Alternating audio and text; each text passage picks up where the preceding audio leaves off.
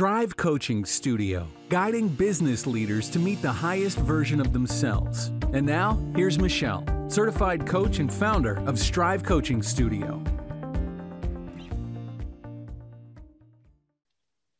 Everybody. I am so excited to be here on podcast number 10. And I really love your support. I appreciate it. And mostly, I'm just really recognizing this number 10 as being something that's significant because there really is so much to talk about with regard to leadership, culture, creating a great workplace, and just becoming the best authentic versions of ourselves that we can be so that we can inspire other people to grow and develop and be better and we all achieve our goals. And i know that sounds a little bit um, rainbows and butterflies maybe um, but for me uh, i kind of don't care. I'm really excited about the concept that the more we give and the more we help other people grow the more everybody gets to grow. And in the end, we have better workplaces, we have stronger companies, we have higher quality people running organizations and businesses, we have happier customers, we have happier employees, we have so many great things. There is not a downside to it in any way for me. So, this is a fun topic. Everybody loves to talk about delegation. What a fun one, right? Because it really ties into culture and, you know, really most all the topics that I talk about end up tying into culture and end up really resulting in who you are as an authentic leader and who you want to be. And delegation falls right into there. We've all heard that old saying is a good manager is a good delegator. And sometimes it's a lot easier to say than it is to do. I think when it comes right down to it, most of us kind of squirm around in our seats a little bit about it. I think it causes a lot of discomfort. And there's a there's a lot of reasons why. One of them is because it's just our habit. It's just the comfort level that we're in. We might have grown something from the start and letting go of the things we've been doing all along and every day to build us to where we've gotten successfully doesn't feel like the right thing to do. If it's been working, why would we change that? So there's something just so natural about our habits and our, about our brain telling us why would we change something? There's not a reason a strong enough reason to change something that we don't need to look into how. We don't need to investigate too hard as to why. And so that's my goal today is to really show you that there's a lot of reasons why. There are a lot of benefits to it. And hopefully after i'm done sharing with you some of my findings on delegation you may feel a little differently than you do right now so that's one reason. We we just have a habit of being in it, being in the weeds, not wanting to change, not wanting to grow, not wanting to cause more challenge or create disruption of a system that we've already worked really hard to fine tune and make it work right. So there's a lot of resistance there, right? So that's number one. The second one is we think in our minds that it's just going to be quicker to do it ourselves than to tell someone else how to do it. How many times have we either heard it or said that ourselves where our answer is it's just it's just easier and quicker just do it. It takes me just a few minutes. It's not even going to take that long than to teach someone else. I mean, by the time I tell someone how to do it, I could have had it done by then. I mean, we've all said it. We've all said it. The next one is purely perfectionism. We just think that we know how to do it. We're going to do it best. Nobody can do it the way we would do it. Nobody's going to get it quite right. It's just got to be done exactly the way we like it to be. And that prevents us from really ever turning anything over to anybody else because we kind of hold things close to the vest, right? And ultimately, when we stay in our limitation of not delegating, we ultimately set ourselves up for failure because there is going to be a time someday at some point in life where your internet didn't work to do the one thing where your laptop was broken and you couldn't get in and log in the payroll or you are on a trip and or you're sick something terrible happens and you're unavailable. You're unavailable to even give instruction about how to do it You don't have the technology to be able to do it. You don't have access to be able to do it. You can't get there. There is some limiting factor. And then what happens is you are in desperate need. It's an urgent problem now. And you make the phone calls, you you send the emails, whatever you're able to do to try to help get someone else to help you with this or do it for you. You're now urgent, you're now desperate. It now feels like an emergency you're spouting off all the things, you're frustrated, you're probably a little bit angry, even. So you're not able to give good instruction to the person who probably desperately wants to be able to help you. And sure enough, it's highly likely that it will not go smoothly and it will not go perfect, especially under those conditions. So then it's a self fulfilling prophecy because by the time we've done that, we can now create more evidence in ourselves to just go, yeah, see, I knew that was a bad idea. Why would I turn something over when it could easily fail? If I just do it myself, I don't have to worry. But we all know that that can really backfire on us. And that kind of proves exactly why we should look at all the reasons that delegation could be great. I'm going to use that example. My husband and I ran a business and we had 50 employees, and we were at that time the only ones who would run payroll and put that final stamp on things. And we had an internet problem because we were traveling. It shouldn't have been an issue at all, but of course, unexpected things happen. Next thing you know, we're getting on the phone with our payroll provider trying to get them to help us because we didn't have anybody authorized in our company to be able to manage payroll and handle this for us. So we're on our trip and spending all day with our payroll company to make sure that payroll can get done. And we're literally minutes before the funds have to hit the bank or nobody's direct deposits are going to hit. And imagine what a problem that's going to be when 50 employees have bills going out and being paid and their direct deposits for their pay doesn't hit their bank account. Now, luckily, it worked out. It did. We didn't have 50 angry employees that day, but you can see the stress that we caused ourselves unnecessarily. So it's easy to want to hang on to those things, especially when it comes to our money and our finances, but at least have backup plans, at least have a person, at least have a trusted individual. If we had, we probably would have saved ourselves a lot of stress.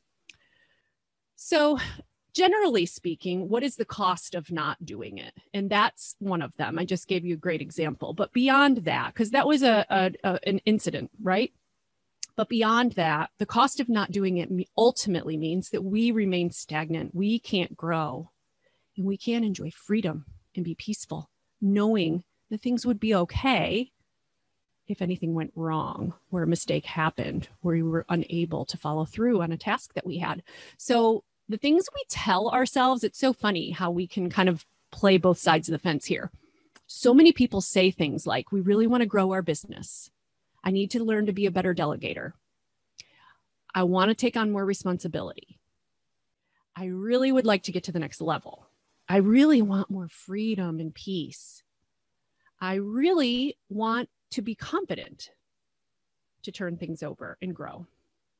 I want to I want the ability to inspire and motivate and empower other people. And yet, we continue to make the decision to hold things close to the vest for our own reasons that don't make any sense. And it ultimately results in exactly that remaining stagnant, not growing, not being free, not motivating, motivating others. So, what do you have to gain? How much is it worth it for your time, your peace, your freedom, your flexibility? What is it worth to you? What do you want for yourself? What is the value of this? Well, here's a story that I'm going to share with you that I think will help resonate for you. I was a small business owner myself, as well, as you know. And in the end, I ultimately started it from scratch, doing every single thing, doing every budget, knowing every number, having all contact with everyone. There's nothing that happened in that company that I didn't touch, that I didn't make the decision about that I wasn't involved in. But that wasn't the reason I started my company. The reason I started my company is because I was really good at a lot of things that my company offered. It's what made my company special. My creativity, my inspiration, my perspective on how I was going to do it, what product I was going to offer, what service I was going to offer that was different than everyone else's was the reason I started my company. And I wanted to attract other people who also followed because of those same reasons. So here's a litmus test for you. I wanted to do the things that I loved doing, the parts of my business that I truly enjoyed. I knew I was good at bringing, and I knew I was the only one who could bring it. And I knew that it was my stamp that made it special. Then there were all the other things on my list of to dos that kept me from doing all those things that I love so much. I didn't get to be creative when I was doing payroll. I didn't get to inspire my salespeople, and I didn't get to help grow my construction team. And I wasn't doing any training of anyone as long as I was doing a lot of administrative, in the weeds work or special projects that kept me away from that, that somebody else could have absolutely taken from me. It limited the growth of me, it limited the growth of my company, and it limited what I was able to bring my company every day, the parts of me that my company needed from me every day. Now, what does it do for your employees when you are able to figure out ways to delegate to them? It empowers them. They get to become more developed. They might be asking you for more responsibility. And what do you think will happen when you do trust them with a responsibility? When you do teach them how to do it? They become more loyal to you. That loyalty is what gives you exactly what your company needs, what you want, what they need, and what it takes for the company to have the best out of everybody. Now, what's the benefit to the company? Well, for the company, they're getting the best value for their money when you're able to delegate things off of you or encourage others to delegate things off of them. In other words, do the math. What do you make in a year? And divide that out in a normal 40 hour week, 52 week year, what do you earn technically per hour according to the company? Is that the best use of those dollars? Would you pay someone that rate per hour to do the job that you need to have done or to work on that special project? My guess is probably not.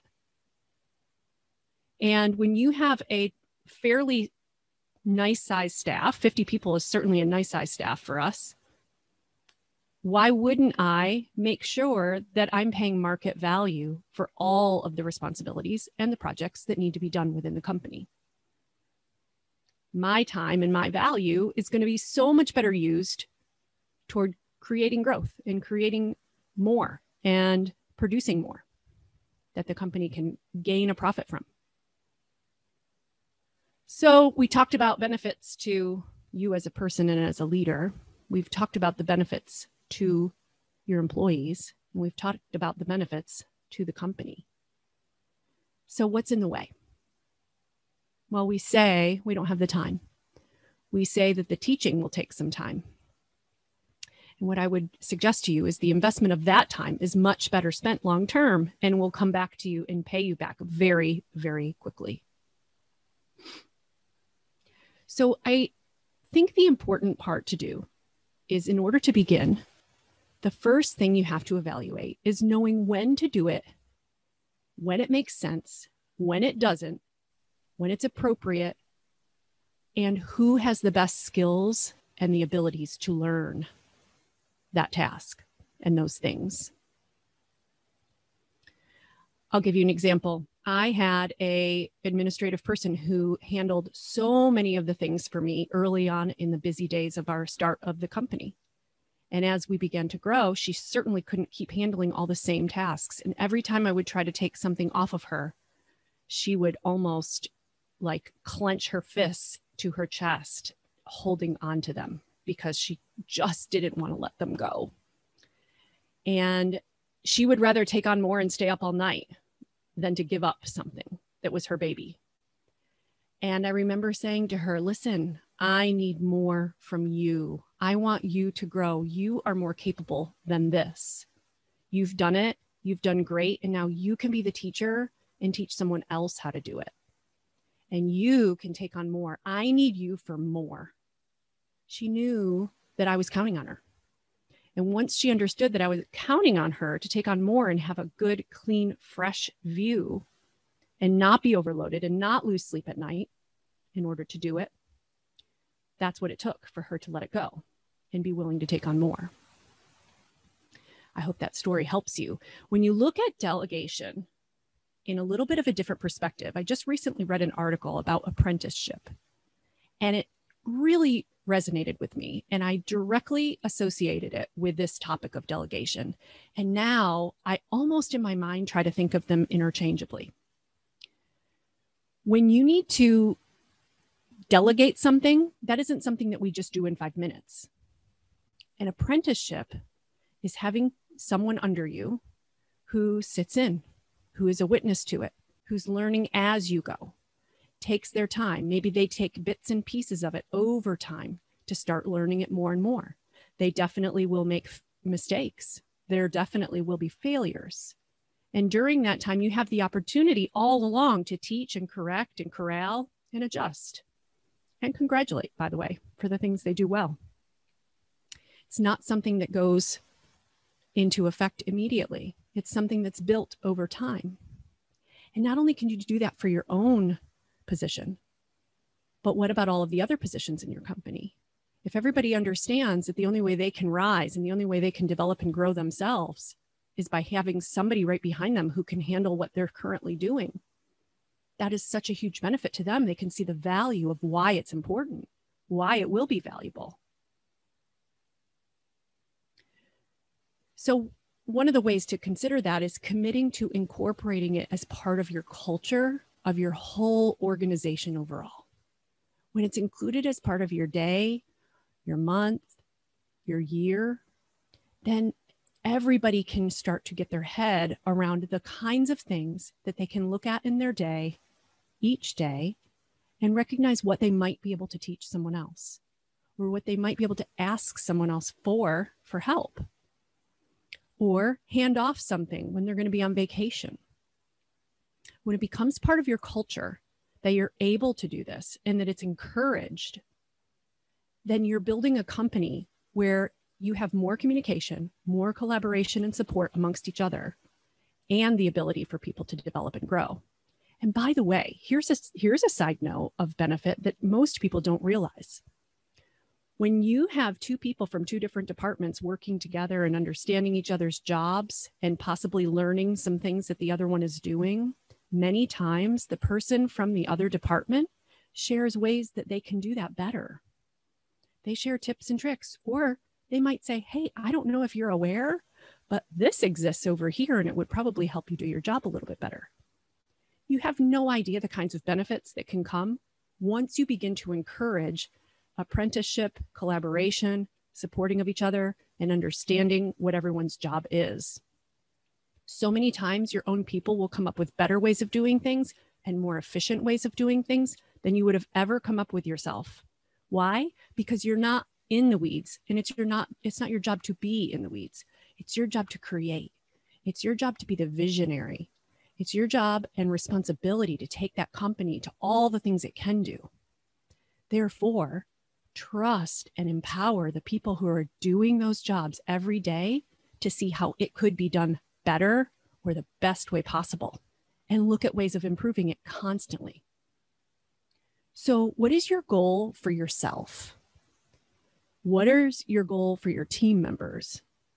And what is your goal for your company? Do you want a growing, high functioning company that maximizes its profitability? Do you want team members who are empowered and feel loyal to you? And do you want freedom growth and focus and the ability to be creative and produce for your company, I think we all can grow so much with this opportunity. So, in what ways do you think a culture that includes apprenticeship or delegation can be incorporated into yours? And what can you do to impact it immediately? I hope this shows you some really good value and really good benefits as to how you can look at this a little bit differently how you can go forward tomorrow with beginning to implement some things that can make an impact. So, hey, listen, if you're looking for more guidance or direction on implementing delegation or any other leadership mastery into your organization, check us out at Strive Coaching Studio. We talk about all of these impactful opportunities that can create great organizations every single month. I have over 20 years experience leading and developing great people and organizations. And I've simplified it down into a strategic and pragmatic program where you can see results immediately. So check us out. I'd love to help and I hope we'll see you there. Check out our show notes in the podcast section on strivecoachingstudio.com to read these valuable tips. And thank you for listening.